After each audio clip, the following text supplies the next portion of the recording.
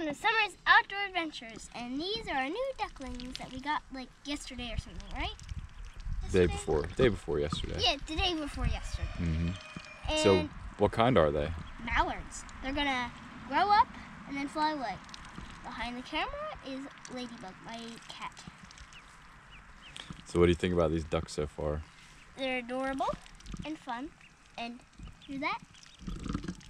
They're not only drinking, but they're filtering. They're, it's like a whale. How they filter out the, the tiny little stuff in there.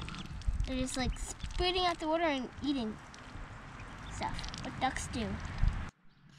All right. So, Summer, who saw these ducks first? I did. And where were you? Tractor supply. And who were you with?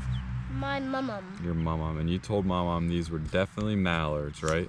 hmm And you were right. So we ended up going back and get them because we've been wanting mallards for a while Mhm. because we think they're pretty cool. So we decided to go ahead and get them. Um, Picking a dandelion. so we also have a little Bantam chicken that is very broody right now. Broody hen. It's she's a broody hen. So I think it might be a cool idea to go and get her and put her in with these guys and Let's see if see she'll if she's gonna take care of them. And there's our broody hen.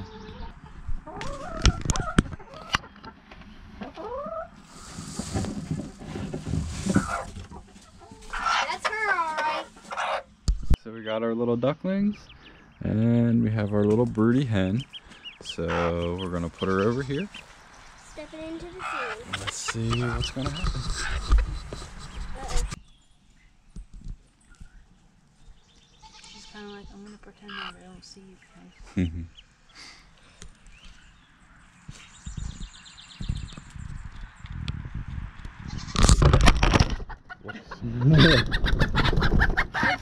Good catch, kiddo.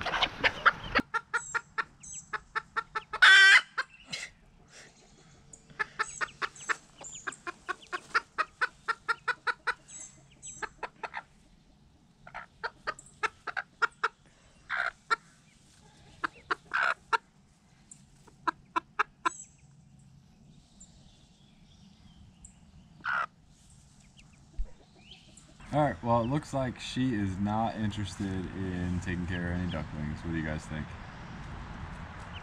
Yeah, no. Nah. She's like, they aren't here.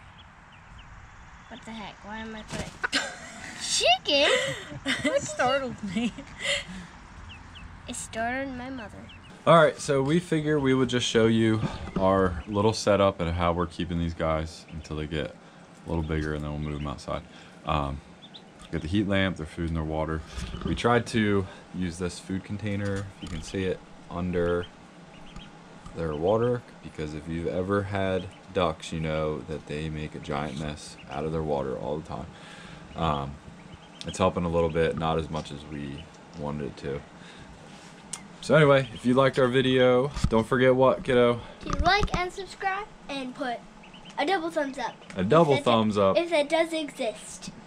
All right, thanks for watching. hmm This is their food. That's their water. That's their bed.